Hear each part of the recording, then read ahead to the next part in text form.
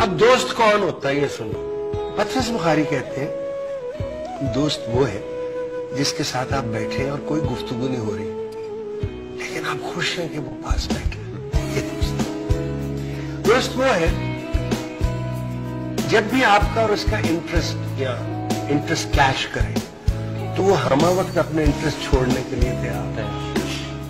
भी दोस्त। दोस्त वो है जो हर वक्त वो करने को तैयार हो, जो वो समझता आपके हक में। तो फिर दोस्ती और मराहल से भी आगे चली जाती है।